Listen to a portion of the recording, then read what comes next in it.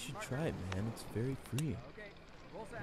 Coming to Micro Beach used to be a great natural experience. Do some naked sunbathing, naked barbecue, naked hula hoop, naked Sudoku.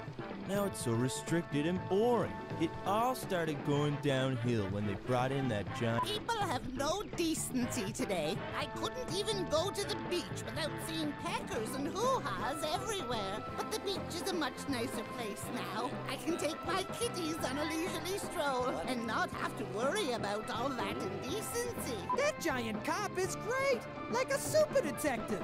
My prized petunia plant beauty was stolen! I was heartbroken! I gave Giant Cop a picture of my beauty, and that dirty thief was quickly dealt with! Micro City's not the same anymore, man.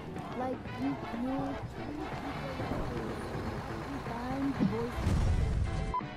I no longer fear walking home now the giant cop has eyes everywhere.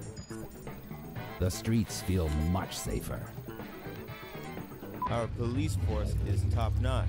And, and our city has never been better because of it. I am happy to have the Giant Cop here to serve us.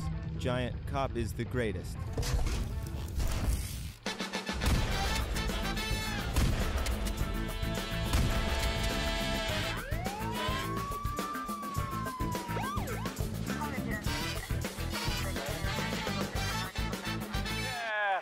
Innovations in VR.